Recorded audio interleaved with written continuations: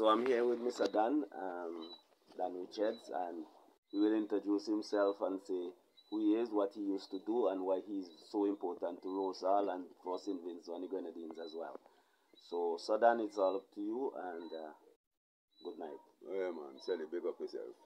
No, um, my name is Don Richards, for those persons who don't know me. Um, I am a resident of Rose Hall, lived here all, all my life, and also by profession, I'm a retired agricultural officer. Um, worked with the Ministry of Agriculture for almost four decades. He was in the teaching service. The rest is history. Now, um, in terms of the land that we, the, the, the, the trail that we, that's in question, if you understand Rose Hall, Rose Hall had a, there were some strategic names in Rose Hall um, that up to now a lot of persons don't understand what they mean and the significance of it. For example, um, there was uh, an area, or there's still an area that is called Yard. Yard is, is, is where the slave owners lived. Um, it has some significance in the sense that it is the highest um, view in Rose Hall where anybody could overlook any part of the community. You could study and basically pivot yourself and, and, and see exactly what is happening. Now, at that point, the slaves used to live in, in an area that we call it now Nigger House. But what they used to call it was Nigger House. You know, it was a derogatory name that was given to slaves, and that is where they lived in communal shacks. So that whole piece of road that we call Top Road now, that is that is, that is where slaves the, the, the slaves used to used to live. Now, below that, on the on the western side of on the eastern west no no the southern side of that road were well they still are um, land with slopes of about say 45 50 degree slopes. And these lands were controlled by Massa and Massa gave the slaves these lands to work so that they could get a subsistence farming. So these these lands they were steep, very difficult to, to, to, to maneuver, and they were very prone to erosion. The, the, the, the, slave owner, the slave owners could not plant sugarcane on these lands because of the topography and the, um, the structure of the soils. Now, as a result, these most of these lands in that area, um, they are presently uncultivated. What is significant about these lands also is that they were clay soils, and the people, well, in my when I was much younger, my my parents used to go to that area and dig out the clay and mix the clay with cow dung in order to plaster the house. Right? So it all in the cocoa. Wrong way meal yes, yes. All that here was just uh, clay. it that. Mm. It was clay. Mm. So you know if you if you understand the, the, the, the, nature of the soil, when when water hits that, there is an impervious layer mm-hmm. below and water can't go through that. So it just it just goes down the hill. Mm-hmm. Erosion. Now, um, a valley automatically developed because of the topography, and that valley is what we call planting wharf. Mm-hmm. So, the, the, the a track would have been established by our people to go through, to go down in the valley mm-hmm. and go so that they could access lands on both sides. And that is what we call the planting wharf track. That is what that is, that is the track that they're trying to establish. Yes. And it is very significant because um, most of the persons below 60 don't know much about that. Mm, no. Mhm. right? Um, the the lands on the on the, the, the northeastern side of that road, they were lands that were cultivated by the slave owners Mhm. because they were lands that could have um, you could have um, plant sugar cane and tobacco and whatever, whatever I don't know, whatever. But they could have done that because they were more Gentle slope. gentle sloping and the, the, the soil texture was much better. Mm. That is in the Pero, um, Jack Hill, North of Jack Hill, Mhm. you know, Palmyra, Copeland area.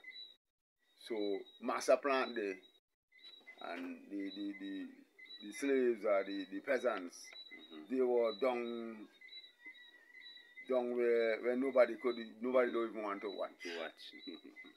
Um, the Grey Road that connected Coulls Hill to Rose Hall. And the families between Coulls Hill and Rose Hall are very, very close. Mm. They're very interconnected. So sorry, was it Rose Hall or Jack Hill? Well, Jack Hill, because. Jack Hill was where the, the, the residents was the, was the first village, Mhm. and then we moved down to Rose Hall. Mhm. Jack Hill, where the tank is, Yes. right. Um, so, great, a lot of persons in Coulls Hill own land in Jack Hill. Yes, that's true. right? So that road connected um, Westwood with Jack Hill and Rose Hall as a result. Mhm. Now that road is supposed to be about a, a 12 foot road, you know, Mhm. but it was never really maintained. It used to be just occasionally cleaned by the government, um, probably once a year, but I don't think they maintain that road anymore. No.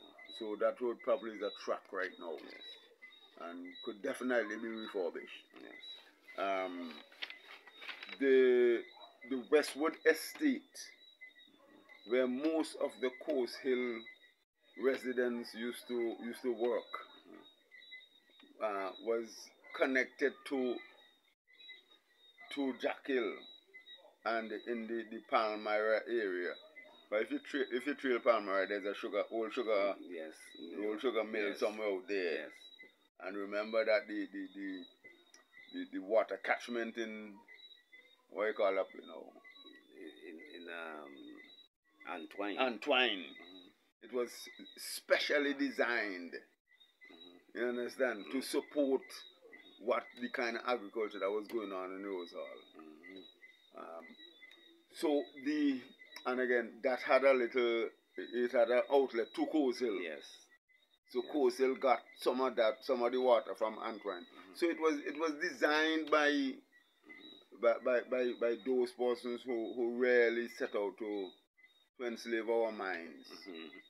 you know. Mhm. Um, but the, the, the, the, the whole connection between the estate, Rose Hall, uh, Rose Hall was an estate too, but Mhm. it didn't it didn't get much prominence.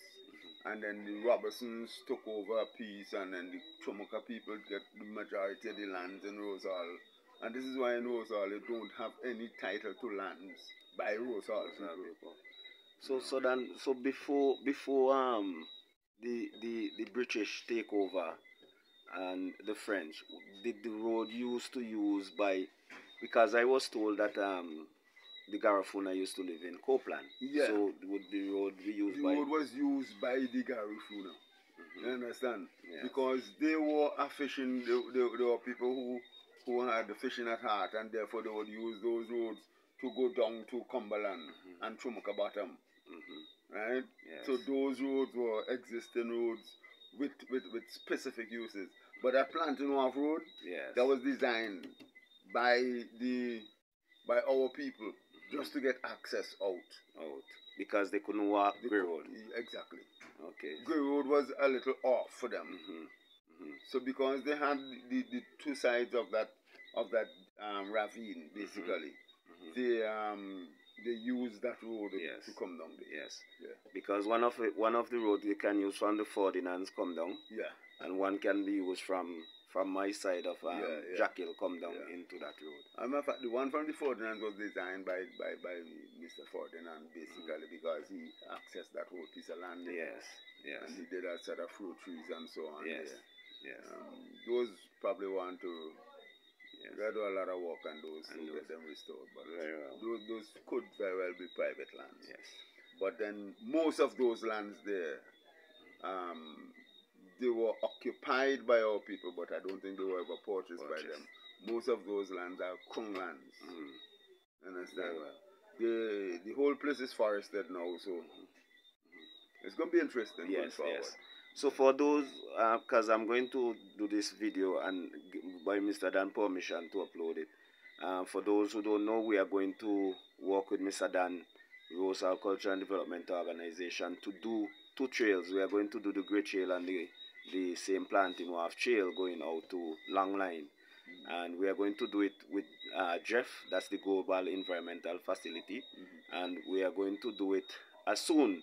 So, you know, this history we have to put as background. Yeah. So, in case persons know a little more, they can still contact us, yeah. you know, and, and tell us what. That's it. That's Yes. it. The honor is to you, Don. Okay. Give thanks, Mr. yeah, Bless, bless.